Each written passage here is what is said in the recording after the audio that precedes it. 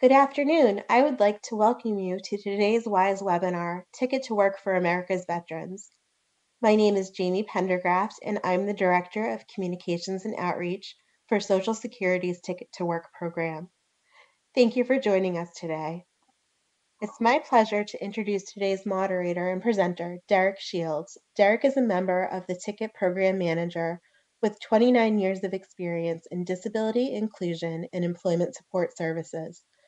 Derek spent 18 years working with the military health system, including supporting wounded service members in their transition process, and also works with the Department of Veterans Affairs in their independent living services.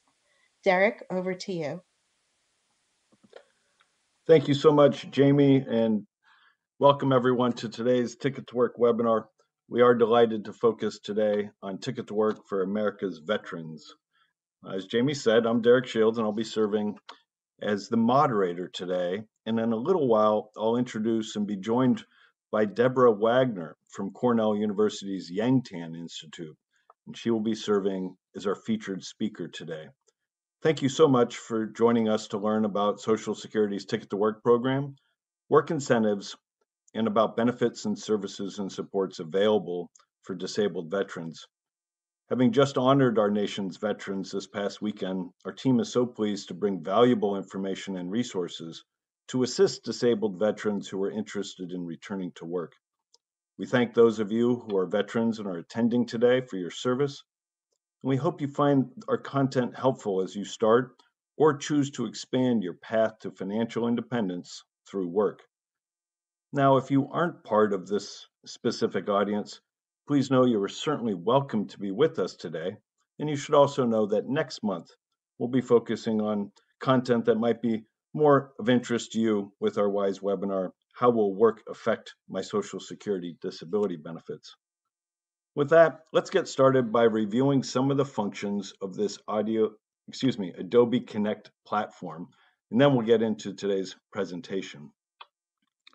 First, you can manage your audio using the audio option at the top of your screen. The audio option is an icon that looks like a microphone or telephone. Choose select speaker from the menu options as noted in the device speaker image on the screen now. Next, please know that all attendees are muted today. When asked, how do you want to join the meeting's audio, please select the device speaker option. This will enable the sound to be broadcast through your computer. Make sure your speakers are turned on or your headphones are plugged in to access the sound. If you do not have sound capabilities on your computer or prefer to listen by telephone, please dial 1 800 832 0736 and then you can enter the access code 418 9148 pound sign. You can also use the join the meeting audio via receive a phone call as depicted in the image on the screen and entering the same number and access code. Now let's review the webinar platform. On the Adobe Connect platform, you will notice different boxes on the screen. These boxes are called pods. We have the presentation pod where the slides appear. That's the largest portion of the screen. Below that is an open space. This is for the placement of the closed captioning pod, if you like. In the top right corner is the Q&A pod, and below that is the web links pod. We'll talk about these pods in more detail in just a little bit. If you do need assistance navigating the Adobe Connect platform, we do have an accessibility user guide. This has a list of controls and it is available through the, a link you can find this link in the web links pod in the bottom right corner at item number four entitled Adobe Accessibility User Guide. It's also available at http colon forward slash forward slash bit.ly forward slash Adobe hyphen accessibility. Two options to access that Adobe Accessibility User Guide. Next, Real-time captioning is available and is displayed in the captioning pod. And this can be placed below the slides as I mentioned. You're able to show or hide the captioning display and can also choose the text size and text color combinations to best meet your vision preferences. You can open the closed captioning by selecting the CC option from the top menu bar. Captioning link can also be accessed in the Web Links pod under the title Web Captioning. You can also access captioning online in that separate viewing window. The choice is really up to you and your preference.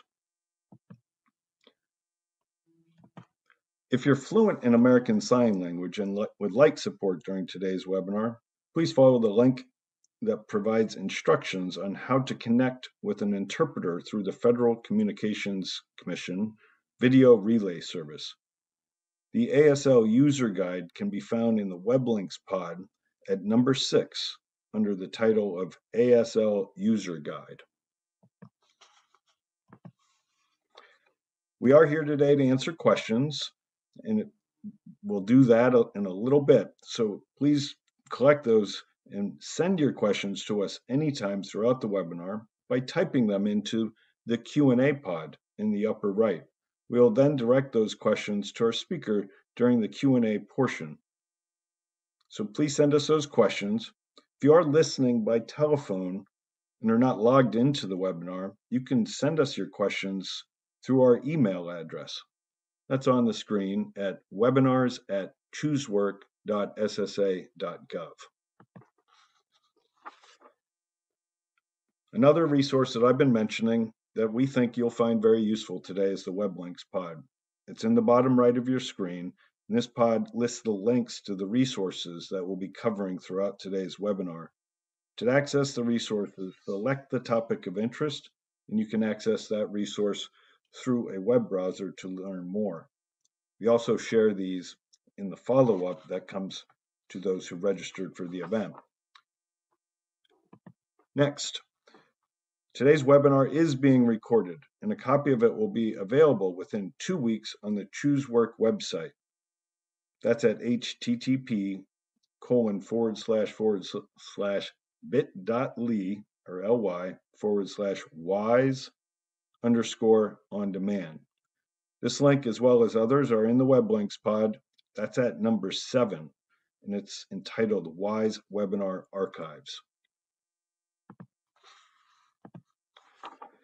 We hope everyone has a great experience today. However, if you have any technical difficulties, please use the Q&A pod. Our team will be able to assist, or if you prefer, email us at webinars at choosework.ssa.gov.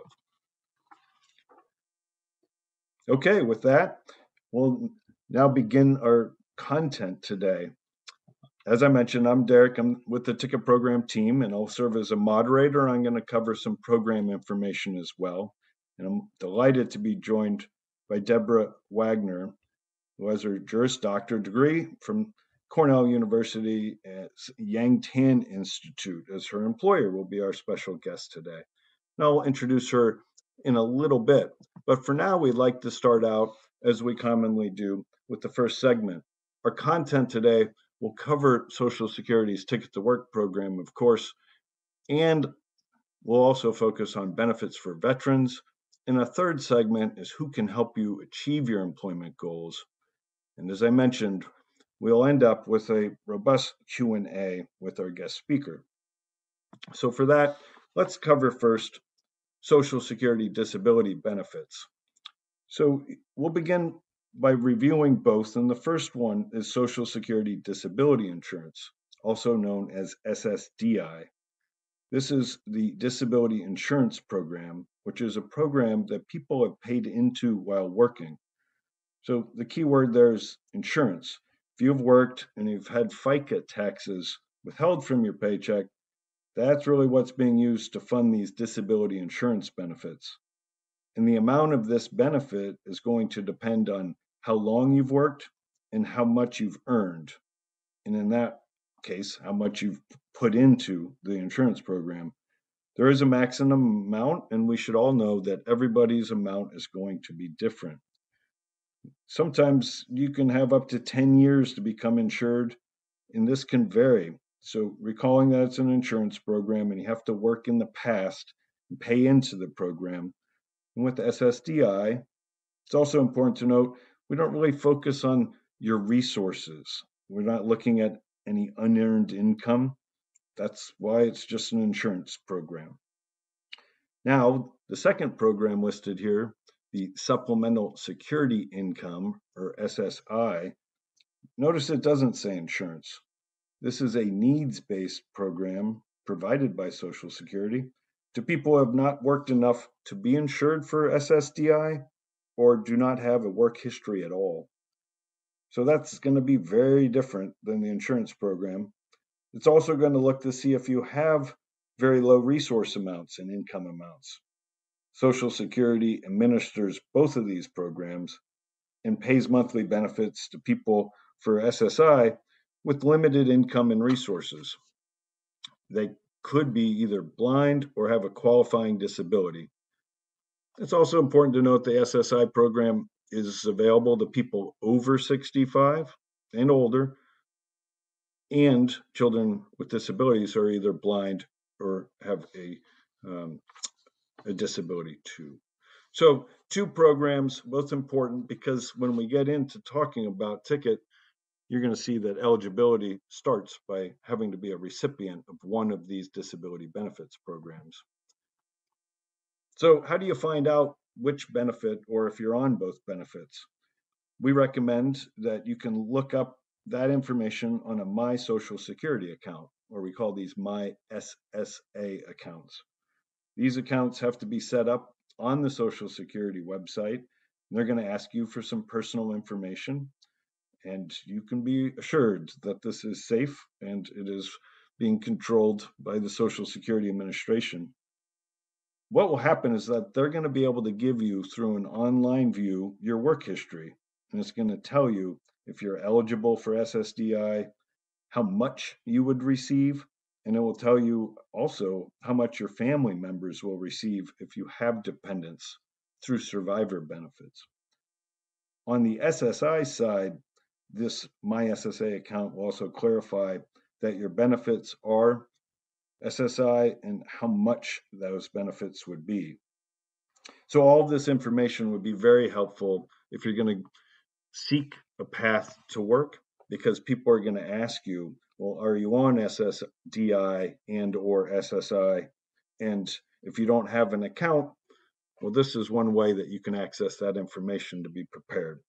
So I highly recommend it. Sign up for a, a My Social Security account. You can do that at ssa.gov forward slash my account. You could also go into the web links pod. It is listed at item number eight. All right, with the Social Security disability benefits in mind and knowing how you can figure out if you have those, Next up, we want to talk for a moment about the Ticket to Work program. Uh, the Ticket to Work program is both free and voluntary. It's serving people ages 18 through 64 who receive one of those disability benefits from Social Security and want to work. Those are the only requirements. You want to work, you're age 18 through 64, and you're receiving SSDI and or SSI and you're interested in working. So if that sounds like you, we have some great services and supports, and they're going to help you on your, your planning and implementation uh, for your journey to self sufficiency. So keep that in mind. When we think about Ticket to Work and connecting you with these employment services and supports, we like to break it down into these four areas deciding if work is right, you know, work might not be the right option for everybody, but we really want you to contemplate it because work is a pathway to contribution and for many veterans, a return to a mission. Next, once you decide to work, you can consider preparation for work. What do you need to put in place? Do you need training or do we need to refresh the resume or translate the resume into um, competitive tool for the positions you're seeking. Third, help in finding a job. We have providers that are connected to employers and they'll know where your interests will match up with employers. And fourth, once you're on the job, how to succeed at work. That's a lot that I just covered in four bullets. If you're interested in exploring this further, we have two links that are in the web links pod for you to check out. Um, the bottom one, the self-guided tutorial, is a, a great tool, takes you through those four phases. That's in the web links pod, and we also have a fact sheet to learn more about Social Security's ticket program itself. So check those out if those are of interest to you. Now, if you're thinking about this and you're like, you know, I heard a little bit about it, but I really want to talk to a specialist, we also have the Ticket to Work helpline. So you can verify your eligibility. You could talk to a beneficiary support specialist around your questions about how the program works and to see if it's maybe the right thing for you to explore. You can reach out to the Ticket to Work helpline Monday through Friday, 8 a.m. to 8 p.m. Uh, we have two numbers for you here. The first one is 1 866 968 7842. And the second one is for TTY callers. It's 1 866 833 2967. So you can reach out to the Ticket to Work helpline, talk to a beneficiary support specialist, or if you prefer, you know, you could check into the My Social Security account, check on your stat, your SSDI and SSI benefits, or do both. That's really your choice, and you can explore your benefits coverage and uh, the ticket program eligibility. So that's the setup we wanted to provide for you today. It gives you a little bit of understanding of the ticket program. And now we're lucky to turn to our focus on benefits for veterans. And with that, I'm now going to more formally introduce our guest speaker, Debora L. Wagner. Debora has spent 25 years working with legal services and law school clinical programs. Throughout her career, she has presented on benefits issues, including post entitlement and return to work issues for attorneys, vocational rehabilitation professionals, agency staff, individuals with disabilities, and their families too. She is frequently invited to present on the intersection of VA benefits and Social Security benefits with a focus on how work impacts benefits for veterans. From 2016 to 2022, she led the statewide network of work incentives training and technical assistance for benefits planners in the state of Ohio. In December of 2021, Debora joined the Cornell University staff, where she continues to provide work incentives training and technical assistance. She also designed and teaches a credential course on work incentive planning for veterans. Debora, we so appreciate you being with us today. It's now time for you to dive into benefits for veterans. Thank you so much, Derek. I appreciate the kind introduction, and I'm thrilled to see so many people here today. This is a topic that's near and dear to my heart. Uh, when I started practicing law in 1996, I was tasked with learning two things first. One of those was work incentive planning, and the other was VA benefits. And so these two have always gone together in my mind, and I'm thrilled today to get to share that information with you. As you can imagine, November is a very busy time of year for me. Um, I get a lot of requests to present on this topic, and I'm thrilled to do so because it's one of my favorite things to talk about. So here's a little bit of information about the Work Incentive Support Center where I work. It's part of the Yang-Tan Institute at Cornell University. We focus on employment and disability, and in the Work Incentive Support Center, we provide training and technical assistance on work incentive issues, including a specialized course on work incentive planning for veterans. So in my section today, I'm going to talk about um, VA disability benefits specifically. It's possible that veterans may be getting benefits from the Department of Defense, whether those are retirement benefits or disability benefits, but today we're going to really focus on benefits offered by the Department of Veterans Affairs. We're also going to talk about Social Security disability benefits and how those benefits apply for veterans, how they intersect with benefits offered through the VA, and some special Social Security rules and VA rules for veterans who are getting both benefits. And I'm also going to talk to you about how to find additional help with your VA benefits if that's something that you would be interested in doing. So let's start by talking about the Department of Veterans Affairs itself. It is a cabinet level um, organization, has a secretary, reports directly to the president.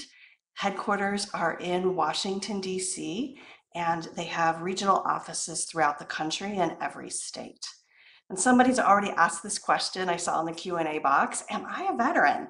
Um, and so let's talk about who qualifies as a veteran specifically for VA purposes. And it's both much broader than you might think, and it's also more narrow than you might think. So veteran is, for the VA purposes includes people who served in the Army and the Air Force and the Navy and the Marines. That all makes sense. It also includes um, cadets at the military academies. They would be veterans. Reservists and members of the National Guard can qualify, but usually they have to have had active duty in order to be eligible for VA benefits. And we'll talk about that a little bit as we go through this discussion.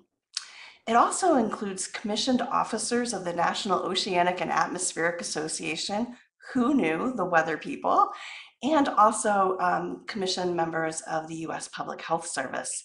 So the definition is what you normally think of, but it's also broader. So that's one way it's very broad is, is looking at all the organizations that can provide that status.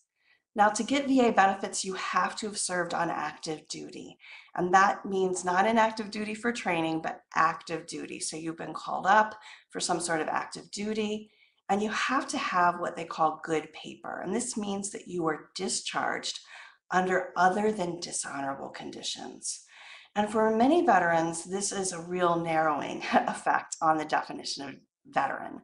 They don't qualify because of the character of their discharge. For those veterans, there are two options.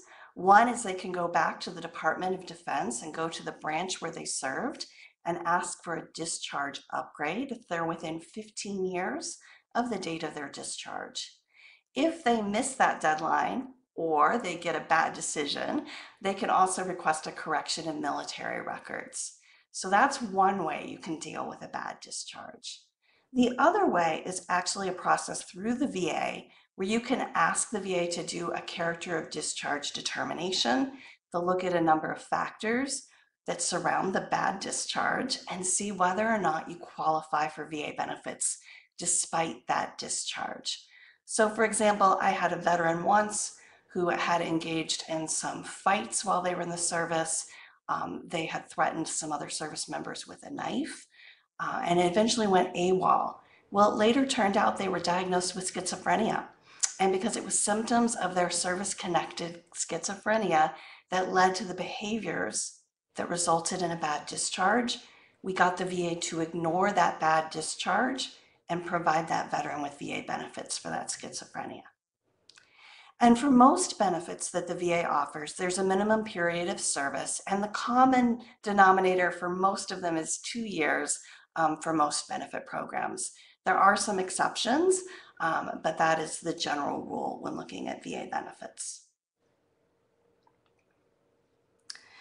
So I'm going to talk about two cash benefits that the VA pays for veterans with disabilities. And the first of those that I'm going to talk about is called disability compensation. And this program is specifically for veterans with a service-connected disability. Now, when people hear that, they think, oh, someone was shot in combat. Yeah, that, that would be, be a service-connected disability, absolutely but it includes any illness or injury that started while the veteran was on active duty, does not have to be related to combat, does not have to be related to them doing their job or military occupational specialty while they were in the service. It just has to happen while they're on active duty. So for example, I worked with a veteran years ago who had been on some rec time, hanging out on base with his buddies, and they were playing softball and he slid into home plate and broke his arm, but he was safe. He was safe, uh, but he broke his arm and that was a service-connected disability. There's also a number of conditions that are presumed to be service-connected. These include um, conditions related to exposures to different toxins like Agent Orange or the water at Camp Lejeune or burn pits or ionizing radiation. There's a long list. And then there are conditions that are presumed to be related to exposure to those toxins. There are also certain conditions related to tropical diseases um, that are presumed to be service connected. So if a veteran lives in the United States but served in a tropical area and was later diagnosed with a tropical disease, they're going to presume that that is from their time in the service and would be service connected. There are also some um, conditions that can be diagnosed after you leave the service, but if they start within a certain period of time after discharge, they can also be service connected. So for example, if you have a mental health condition that's diagnosed within one year of your discharge from the service, that can be a service connected disability. Now, disabilities for the VA purposes for compensation are rated in 10% increments from 0%, which offers you no cash benefit, but it gives you health care. We'll talk about that in a little bit, all the way up to 100%. And depending on your rating, determines how much you're going to be paid by the VA. So a 10% disability pays $169 a month, and 100% disability for a single veteran with no dependents would pay over $3,600 a month. So wide range there. All of the benefits paid through the VA are tax free, um, so you will not be taxed on any of these benefits. As I said, the amount that you're paid in compensation is based on that disability rating. But if a veteran has a disability or a combination of disabilities that are rated 30% or higher, they can get additional benefits for family members. This includes the spouse, dependent children, and even dependent parents. For children, the VA is going to require that they be under age 18 or up to age 23 if they're still in school full time, or it could be an adult child over age 23 who has a disability that started before age 18 and has made them incapable of self support. So, any of those dependents could increase the payment amount for compensation for a veteran. So, in most cases, Veterans who get compensation benefits see very little impact when they go to work, but there are some exceptions, and I want to mention those exceptions. So, if a veteran is got what's called individual unemployability, the VA is going to pay them at 100%, even though their disability rating is less than 100%. So maybe their schedular rating is 60% or 70%, the VA will still pay them at the 100% rate if the VA finds that they're unemployable as a result of those service connected disabilities. So, for those veterans who have individual unemployability, if they go to work and they work at what the VA calls the substantial gainful occupation level, which is currently 100% of the federal poverty level, and they can sustain work at that level for 12 months then the VA will continue to pay them compensation, but they won't pay them at the 100% based on unemployability. They'll go back down to their schedular rating. So, whatever it was before 60%, 70%, whatever their rating was before they got individual unemployability, that will be the amount they get paid if they lose individual unemployability. There are also some conditions that the VA will not rate at 100% disabling if the veteran is able to work. So, for example, mental health conditions cannot be rated at 100% if the veteran with the mental health condition is able to work, again, at that substantial gainful occupation level on a sustained basis.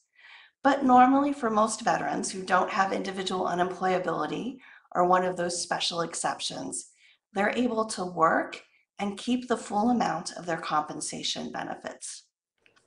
Other income and other resources are not going to impact compensation benefits. So, this is a wonderful program for veterans with service connected disabilities. It provides them with income and it also helps them with health care. And we'll talk about that a little bit in just a few minutes. Now, there's another cash disability benefit that the VA offers, and it's called disability pension. This is like the SSI program that Derek told you about. This is a needs-based program. It is for veterans who live in households with low income and limited resources. It also requires that the veteran must have served during a period of war. That doesn't mean that the veteran served in combat. It doesn't mean the veteran even left the United States. It just means that at least one day of their service had to overlap with a period of war. And just because you know American history doesn't mean you know the periods of war as defined by Congress, which is what VA uses. If you go to their website at va.gov, you can actually find a list of periods of war, and it's very precise. To be eligible for pension, a veteran's service must overlap by at least one day with a period of war. In addition, the veteran has to be disabled or age 65 or older. And for that disability determination, the VA can use the Social Security finding of disability. They also will consider someone who resides in a long-term care facility to be disabled. Or the VA can do their own disability determination process using the same schedule that they use for compensation benefits, but the veteran has to be rated at least 100% disabled. Okay? Pension also will pay extra money for family members. So if you have dependent spouse or dependent children, they will include those family members in calculating the pension payment. Now, it's really important to know that wages reduce the amount of pension payments. The way the VA calculates pension is they look at the household's annual projected income for the coming year, and they subtract that income from the maximum annual pension rate for the coming year for that household size. And the difference is the amount that will be the pension amount for the year for that household. And they'll normally divide it into 12 equal monthly payments. So if the veteran goes to work and has wages that they didn't anticipate having when that projection was made, they're being overpaid pension. They're going to have their pension reduced and they may have an overpayment that they have to repay to the VA. So it's very important when a veteran is on pension that they talk with a work incentive planner and get complete information so that they fully understand the impact of work on VA pension and they can make an informed choice about whether to work and how much they'd like to work.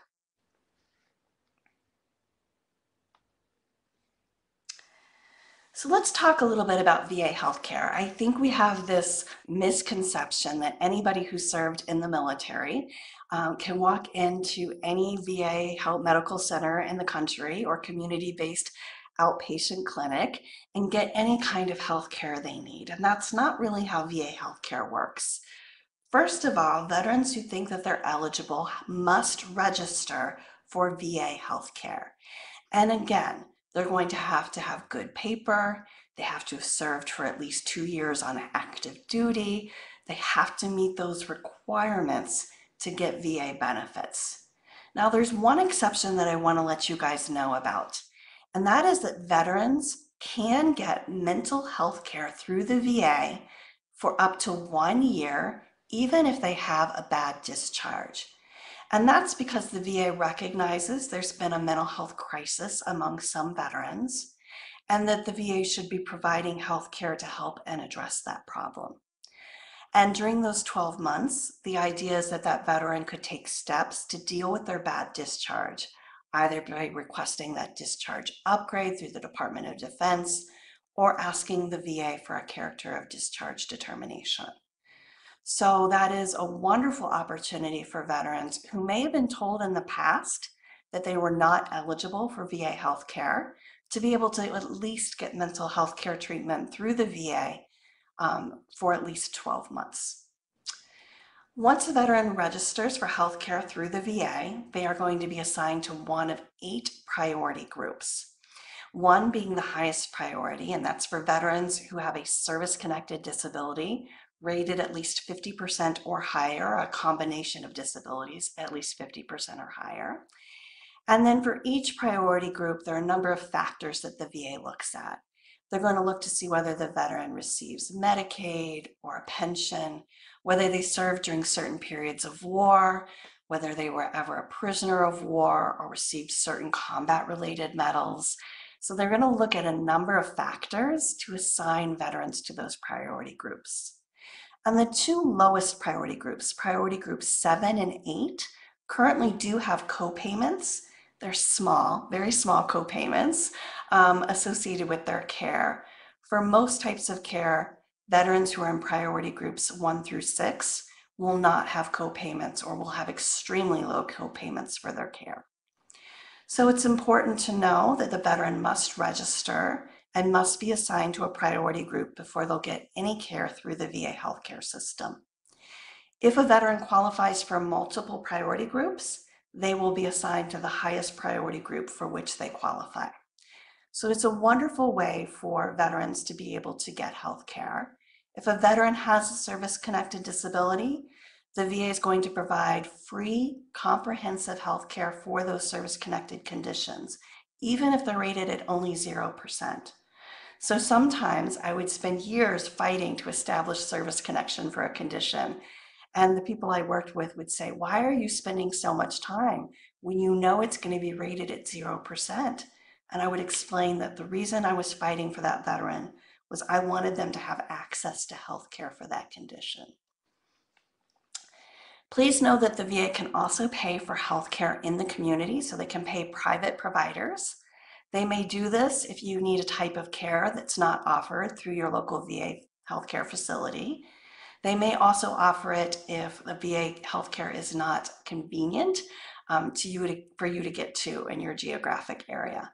So for example, when I practiced in Colorado, I had veterans who could get to their VA community-based outreach clinic easily by driving over a mountain pass, but oftentimes those passes would be closed from October through April or May of the year because of snow and weather conditions. And in those cases, the VA would pay for those months for the veteran to go and get care in the community. If a veteran wants to get care from a non-VA provider, they do need to request prior authorization unless it's a medical emergency or they need urgent care.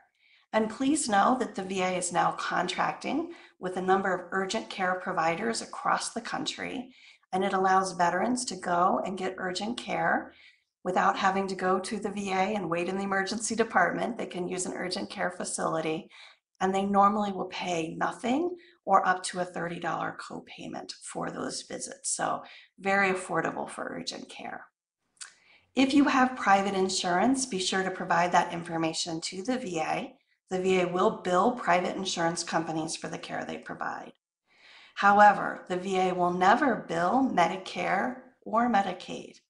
If you have a Medicare supplement plan, the VA will bill your Medicare supplement plan.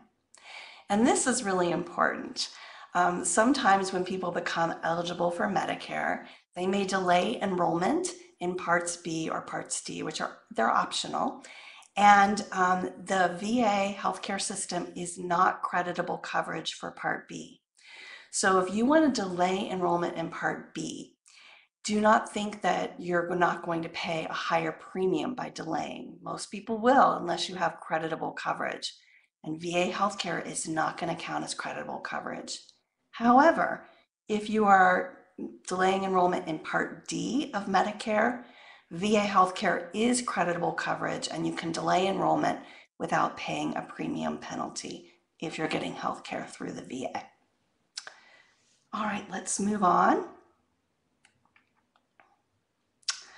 So the VA also offers vocational rehabilitation programs, and they have some really wonderful services for veterans.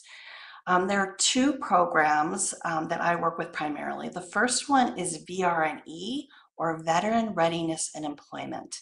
And this is specifically for veterans who have a service-connected disability that is rated at least 10% disabling or more. And they offer five pathways to employment. One is reemployment, where you go back to the job you had before you went in the service. So maybe you were working as a nurse before you joined the service. And now that you're back, you have to take some steps to get your license back in your state. The VA will help you with that process, any education you need, um, any fees associated with that, so that you can get back to doing the job you had before you entered the service. There's also a track called Rapid Access to Employment.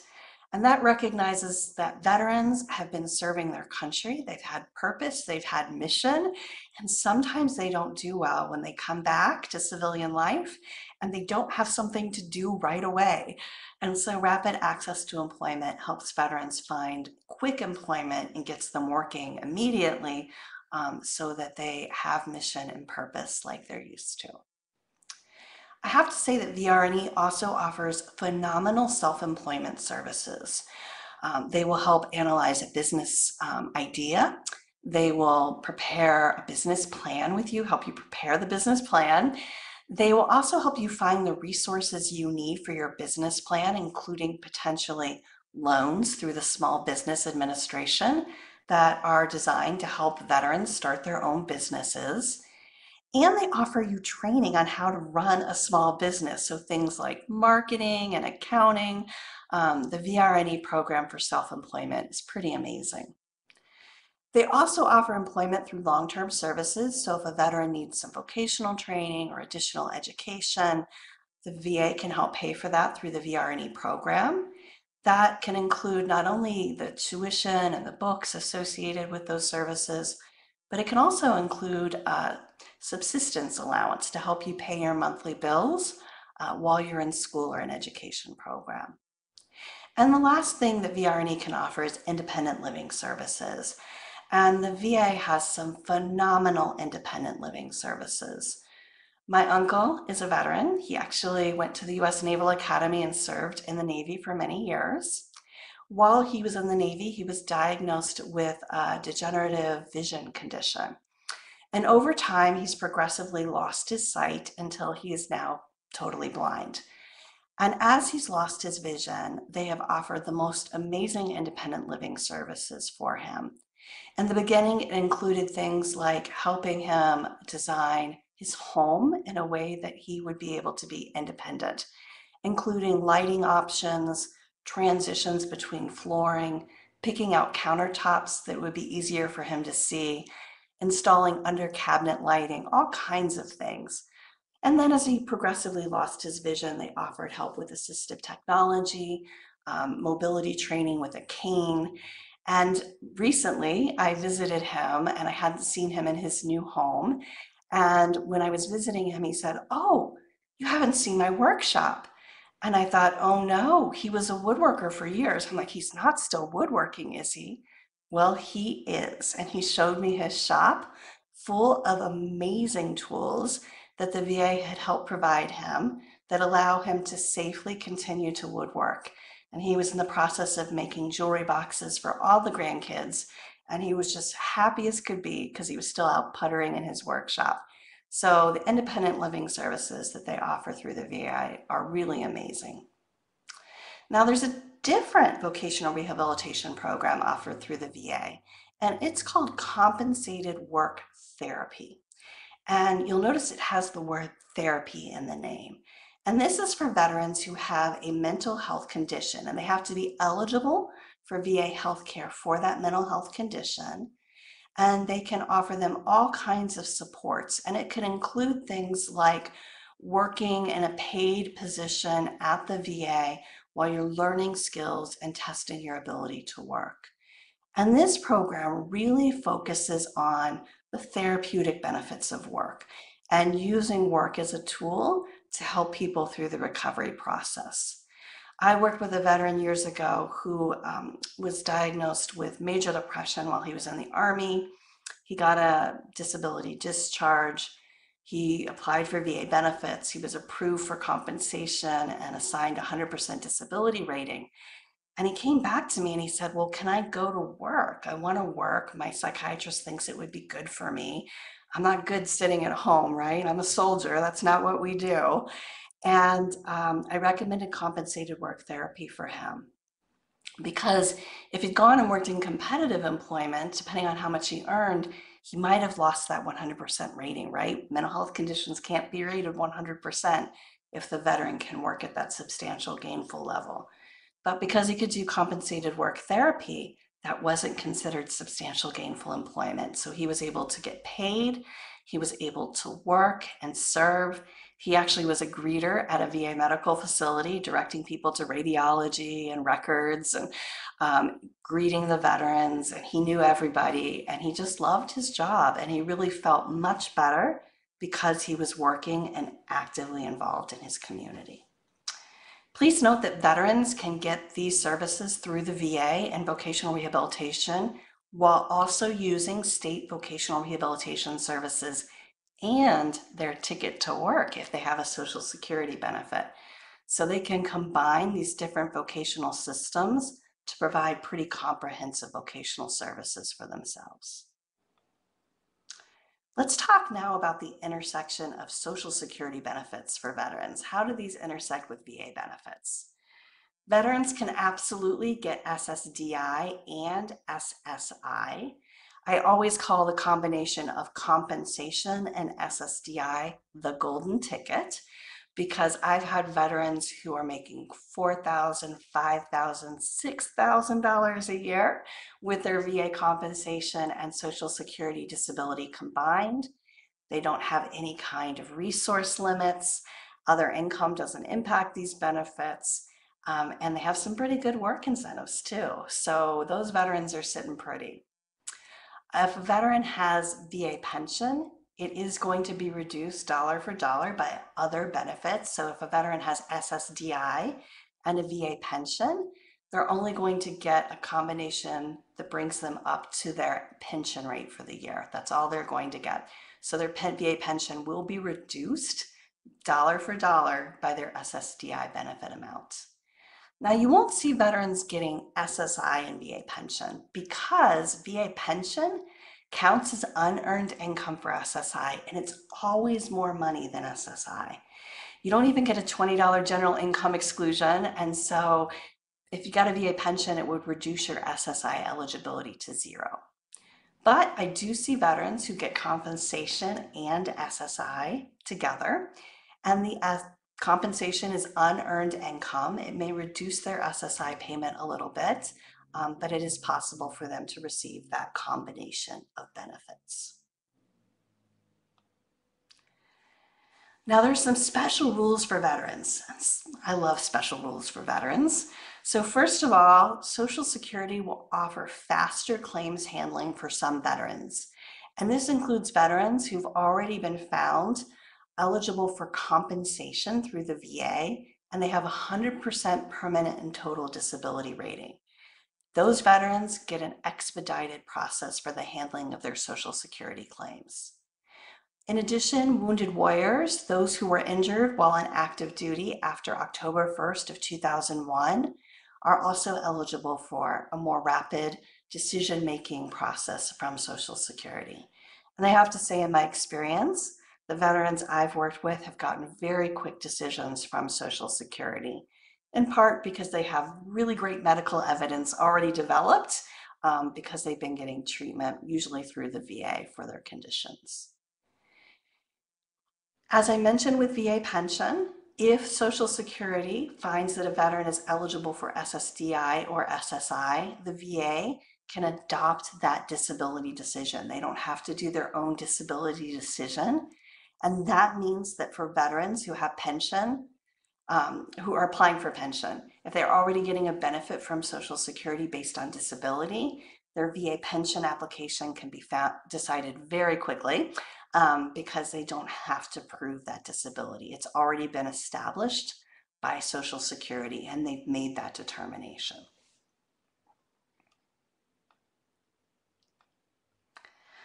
So if you would like to learn more um, and you need help with VA benefits, if you want to apply for VA benefits or talk to somebody about whether you're eligible for VA benefits, I've given you a link to a website that you can use to find an accredited representative. And in order for somebody to represent you in a claim before the VA, they would have to go through an accreditation process. It requires specialized training and um, screening by the VA and then they monitor it and they cap the fees that those attorneys can collect.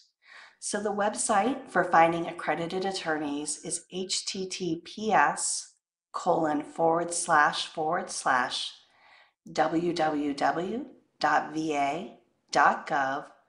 forward slash OGC forward slash apps, that's APPS, slash accreditation forward slash index.asp. And you can use that website to find accredited representatives. You can search based on where you live. You can choose attorneys or non attorneys to represent you. You can search for exactly what you would like at that website. If you are a veteran who's interested in getting work incentive planning, I encourage you to ask your benefits counselor if they've earned the Veteran C credential from Cornell University. All work incentive planners who are a CWIC, um, who are certified through VCU, or who went through the WIPC Cornell process and have a credential that way, receive a little bit of information about VA benefits. So they know some basics. But planners who've gone through this course have specialized knowledge and expertise to help veterans. They also have a continuing education requirement. So these folks that have the Veteran C credential um, are constantly participating in additional education and training and staying on top of trends in VA benefits and work incentives and how work impacts VA benefits. If you yourself are a benefits counselor and you'd like to earn that Veteran C credential, you can do that by visiting our website. It's https colon forward slash forward slash ytionline.org. If you go there, you will be able to register for the course. I just finished one um, the next course that should be coming up will probably be in May of next year. So I would check in April at that website and see the registration link for that course. We go into great depth and really talk about um, these benefits in a lot of detail. And we really talk about the impacts of work.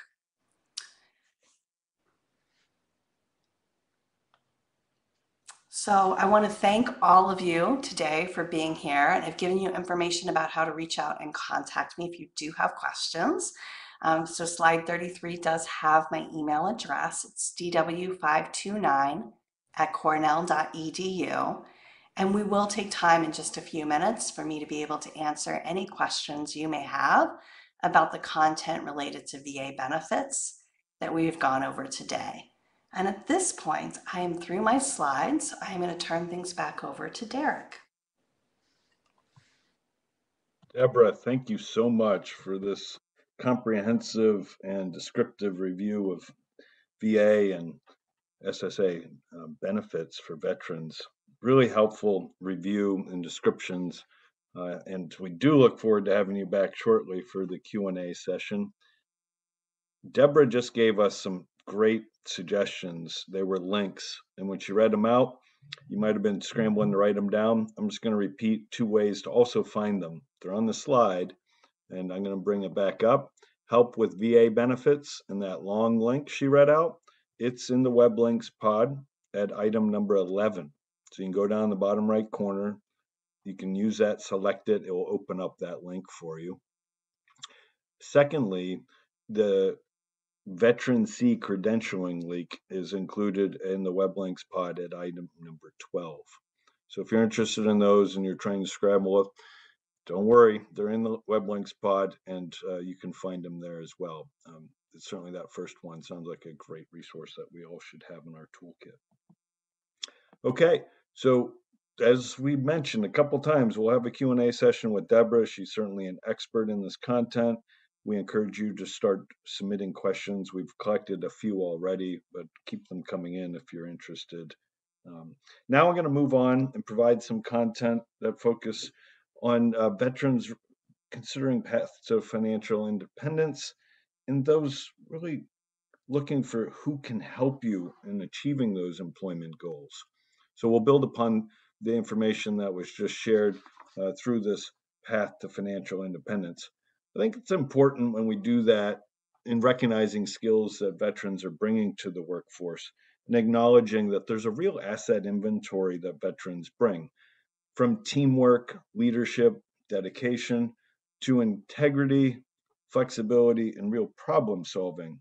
This is a skill set list that really any employer would desire, and veterans have the training and experience to bring these assets to the workforce, not in the future, but today.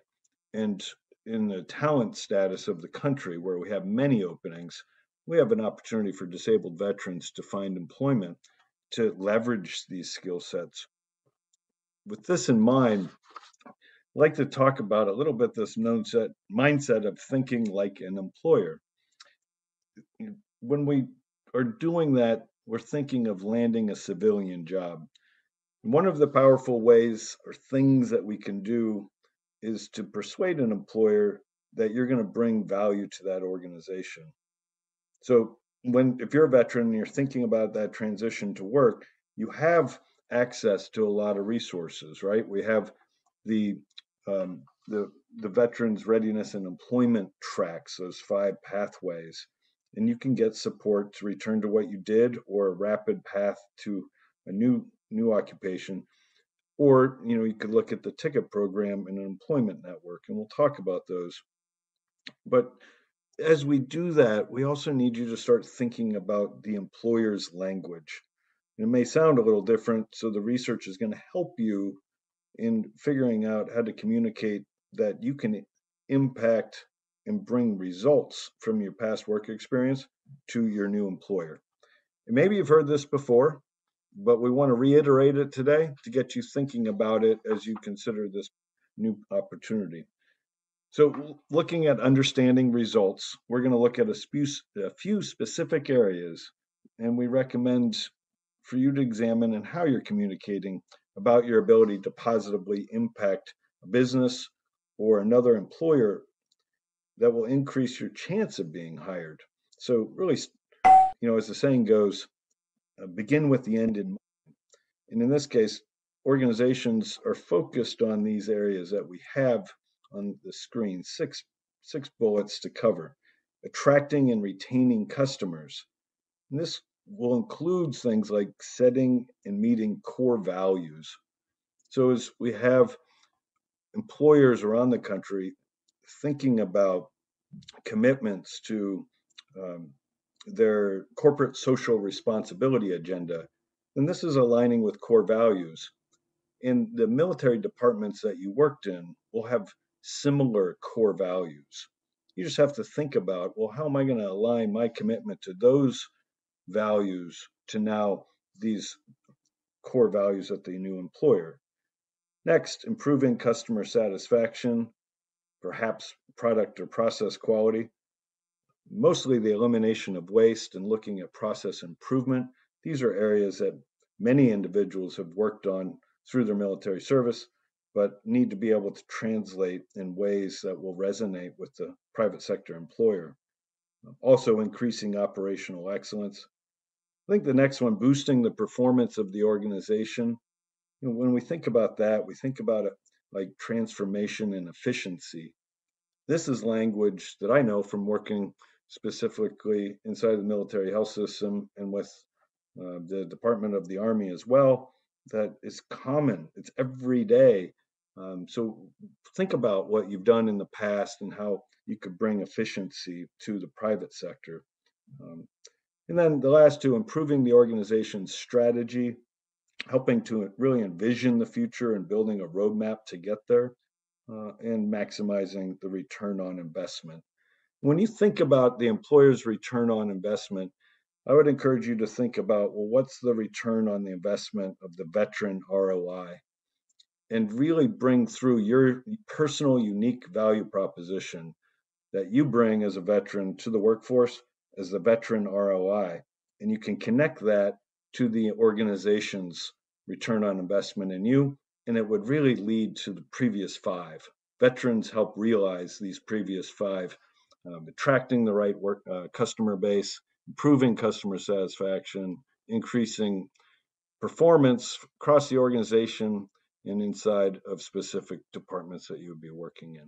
So some thoughts there about you know personal branding as a veteran and the ROI you bring to help employers understand where you're coming from. Um, you know, in the last piece on thinking like an employer, we have here turning military experience into civilian careers. Um, these tips coming from uh, the Department of Labor. We have on the left results hiring decision makers and what they care about. We have two examples. Uh, the first example is quickly solving problems and then preventing them from reoccurring. And with this example, you know how you delivered results in these areas or how you can deliver them in the future. The example is, you know, perhaps when you were conducting an after action review, you could bring up the focus of finding the root cause of problems rather than searching for blame and then analyzing that res- uh, root cause ensuring that hey we made the mistake but we found an improvement that would eliminate that from occurring again. Uh, so bringing forth your analytical skills using uh, root cause problem solving and then finding how to remove operational weakness. The second example improving safety and reducing accidents this example proving to deliver results by you know perhaps being on a rifle range or handling hazardous materials. When we're around dangerous items we understand the process to develop disseminate and implement safety guidelines that can virtually eliminate accidents or injuries. This is the epitome of risk elimination and for any private sector employer they're going to be interested in uh, risk management solutions and ensuring compliance so bringing those safety and reduction of accidents into the, the workforce could translate quite well. All right, with this in mind, and oh, and those items you can think like an employer, that's all available through one of our web links pod uh, numbers as well. It is under pod number 13, so you can access that to learn more. Let's turn now to how Social Security can help. So if you're a qualifying veteran, or perhaps you know of a qualifying veteran, or you're a service provider of one, Social Security can help with return to work supports through employment networks. These are also known as ENs. If you haven't heard that before, we call them ENs. Employment networks are they can be private or public organizations, either one. Um, the key is that they have an agreement with the Social Security Administration to provide free employment support services to people who are eligible for the Ticket to Work program. Now, those private sector ones, those are largely the service providers around the country, but they also include many state public workforce systems, what we call the American Job Centers, and those are called workforce ENs. All of the ENs that are out there are ticket program providers, and they offer free employment support services to people who are eligible and remember eligibility 18 through 64, receiving SSDI or SSI, and want to work. That gets you qualified. Then once once you're in, they can help you identify and apply for work. And then you could do that for your standard, you know, in-office jobs. They can help you find work from home jobs. And as Debora brought up before, the VA provides great support for self-employment. Uh, employment networks can do the same. So you can get those supports from both sides. It's really the gamut, you know, planning your work goals, writing your resume, preparing for an interview, and then, of course, once you get the job, staying on board if you need a job coach to kind of help you with the transition to work. When you think about ENs, they cover a, a broad variety of areas and a broad variety of models. You could have one in your backyard, like a local or statewide EN. Then there's other ENs that are regional, covering multiple states. And we have national ENs too, that where they could reach the whole country. And you could access these services either in person, virtually, or both. You know, if you want to do some in person and some virtually, you can have that flexibility. That's really personal. So that choice is yours. So you could decide the type of EN um, you know, from a, a, regional or local to a national, and then how you prefer to access those services. For the American job centers, what we call those workforce ENs, they are part of a network of over 2,400 American job centers. And they're all out there helping people with employment questions and needs every day. So there's a national network. We have a link in our web links pod number 14 that gets you access to that American Job Centers page and directory. what's cool about these folks is they also have specialists that are veterans representatives at many of these American job centers. So if you go in to uh, one of the job centers and you're filling out your application, they'll ask you a question. And if you tag that you're a veteran, they'll have somebody that's going to be able to be more knowledgeable around uh, transition and support options for veterans as well. So definitely something to keep in mind uh, in your resource toolkit. Speaking of your resource toolkit, we wanted to share with you some opportunities for online job sites um, that are specifically designed with veterans in mind. So before we get to our Q&A segment, I just wanted to bring up a few of these. We have five for you today. Um, so the first one here is called Job Openings for Disabled Veterans. This has a job board and blog posts that provide a lot of helpful information for kind of career planning and um, you know, searching for what's next. Uh, the next one is called Hire Heroes USA. This has a free job search engine and it's connecting assistance for you um, military members, veterans, and included spouses. So if you're on here and you're interested in support for employment for a spouse, that's a good one to check out too. The third that we have is Getting Hired. This one has a dedicated career section for veterans. It is a broader um, portal, but they have a, a section focused on veterans.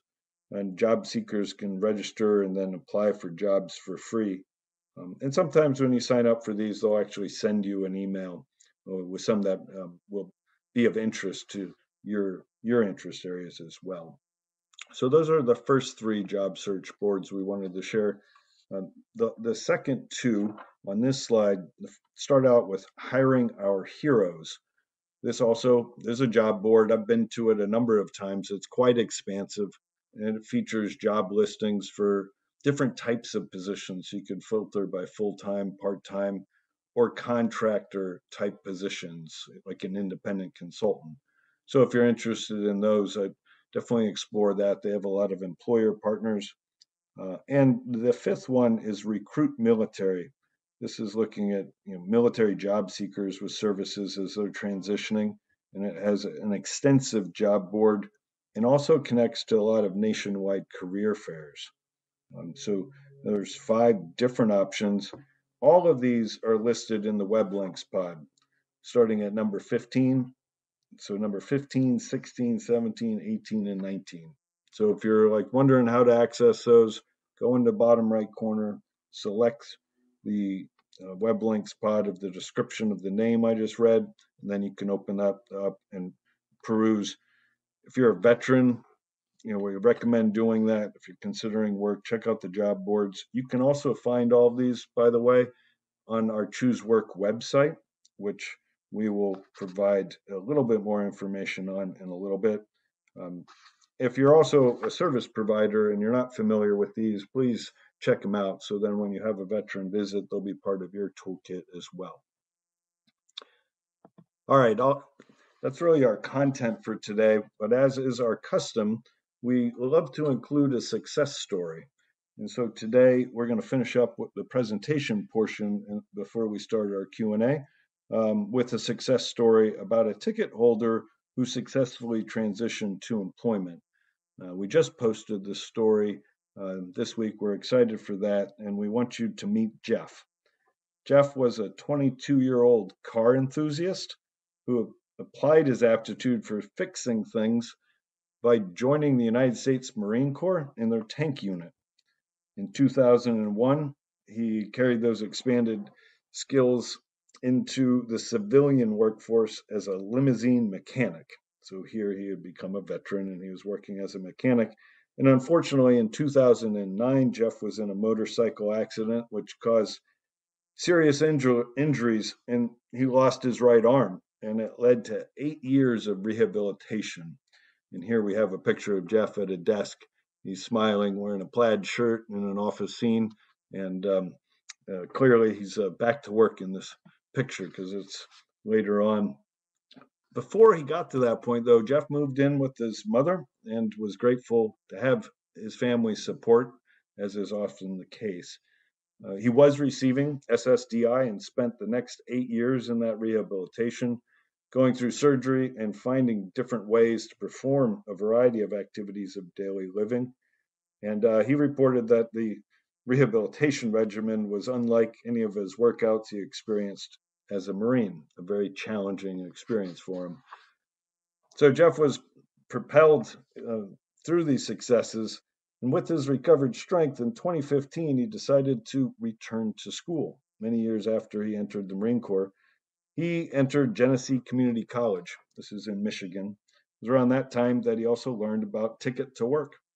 So that connected him to the state, oh, I'm sorry, Genesee Community College in um, uh, New York State. So he was connected to New York State Vocational Rehabilitation Agency and they helped him out with the college expenses to get that degree and the disability accommodations he needed for school. He actually went on to earn a Bachelor of Arts in Psychology from Brockport, SUNY Brockport, and that success gave him the confidence to use the ticket and enter a brand new field as an employment training counselor. And here we have a photo of Jeff in an exhibit table performing some of his outreach tasks what Jeff said about his view of Ticket to Work, he said, participating in the Ticket to Work program was the best decision I ever made. The help I received was amazing. I didn't know I could do the work I'm doing. Step by step, they helped me create a new pathway back to the workforce, and I'm in a better place in my life. Now I'm helping other people find their way, and it's so satisfying. So we thank Jeff for sharing his Ticket to Work success story with us and we thank Jeff and all veterans for their sacrifice and service. Okay, with that, we've reached our Q&A that I mentioned that would occur, and we wanted to bring Debora back on uh, for the Q&A session. We've received a blend of a variety of questions today that cover benefits topics and also general ticket program content. So I'm going to just answer the first one, and then I have a, a several that are, are lined up for for Debora. Um, this is a frequent one, um, and it's um, it goes to how do I find out whether I receive SSI or SSDI or not. So I mentioned it a couple times, but just to reiterate, if you're unsure, you have some options. You could create your My Social Security account. I mentioned that, but if you prefer not to Google that or go to the website and do that. We encourage you to, uh, you can call Social Security toll free. So you can reach out at 1 800 772 1213 or via TTY at 1 800 325 0778. You can call Social Security 8 a.m. to 7 p.m. And that's Monday through Friday Eastern Time. Or you can do the My SSA account, or we'll provide the helpline where you can talk to the beneficiary support specialist. But please know you have those three options, and we'll ensure that uh, we keep providing that information if that's of need to you. All right, so let's turn now to a veterans employment question. So Debora, we have a variety of them. Um, I'm going to start out with one. It's um, kind of a generic question. We've had some very personal questions, and we can't do those, but we'll take them and make them a little bit more generic.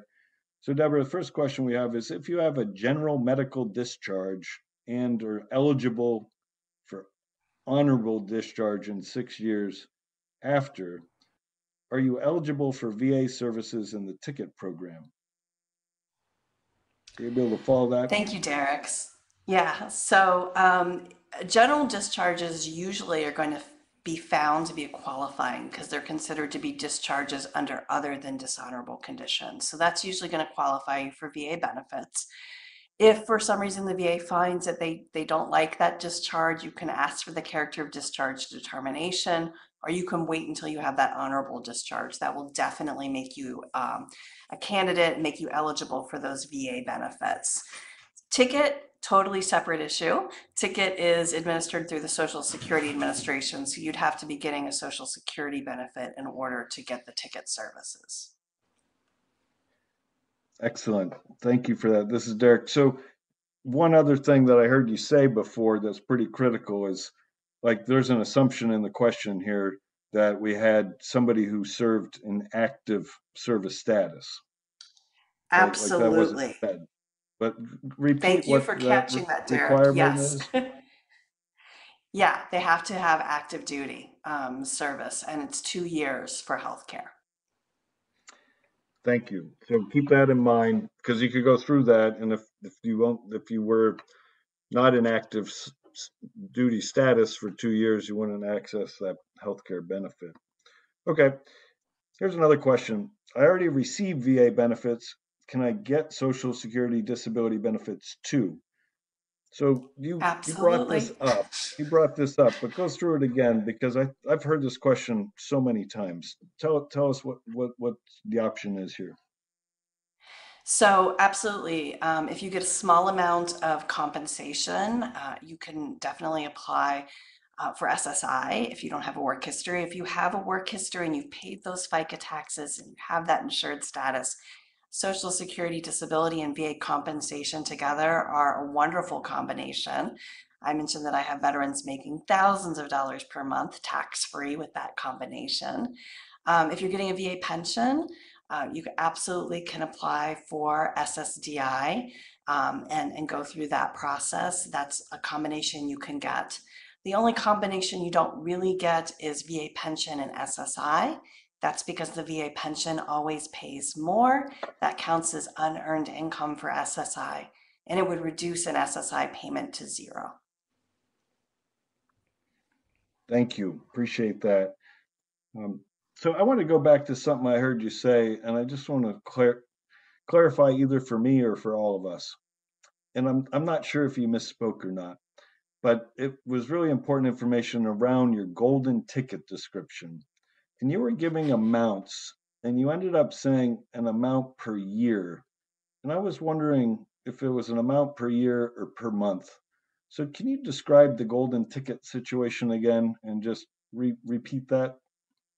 Absolutely, Derek. And I apologize if I misspoke and said per year because um, I, what I meant to say was four thousand, five thousand, six thousand dollars per month.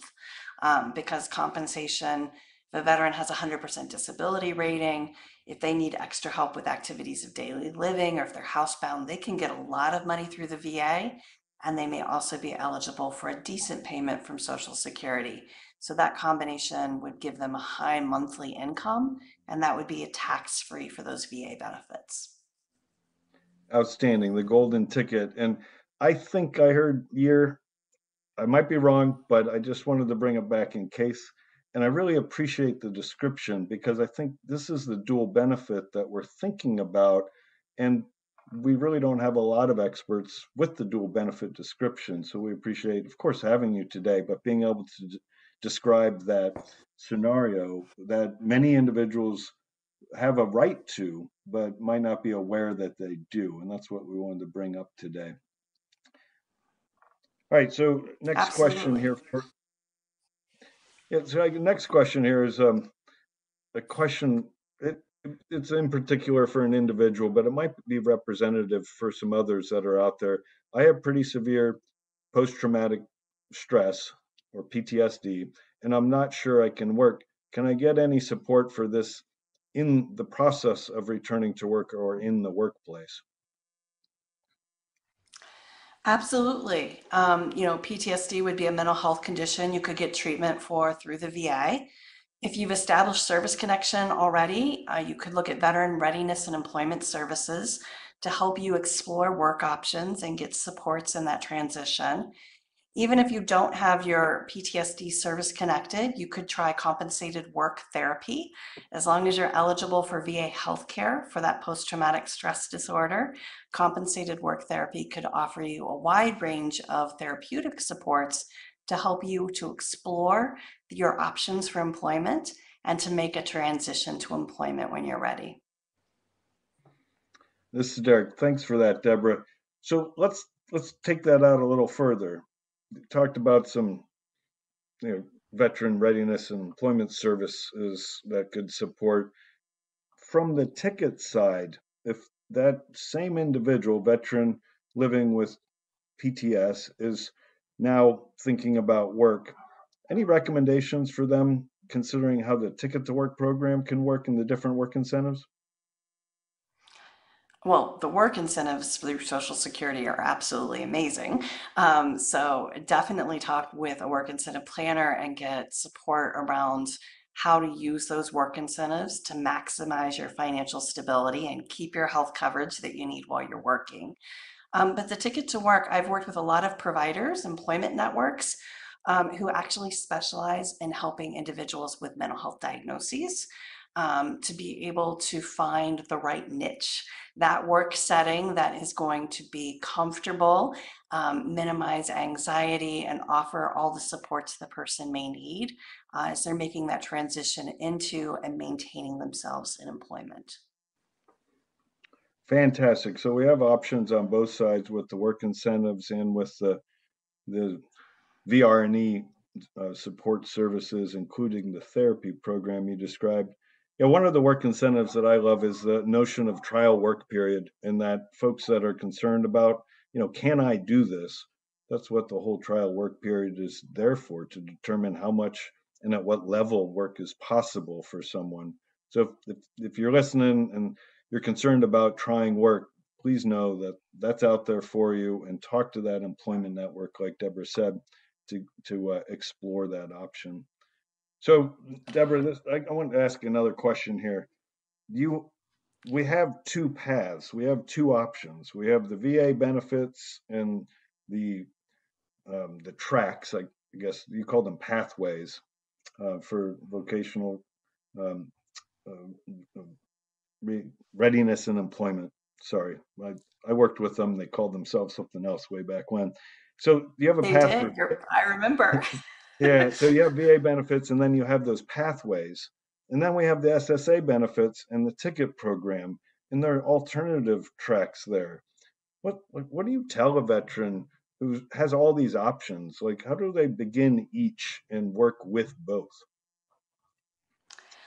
I always encourage them to reach out and connect with both programs, talk to them about what services that they can offer, figure out which sounds like the supports and services that they need, or they can again use a combination, right? So maybe I want to work with VR&E on job development um, because they're really helpful in explaining to employers how my military skills are going to transition into civilian life, right? But maybe I need some vocational program that my local employment network has that's really just right on what I want to be doing. Maybe I'm going to do services with each.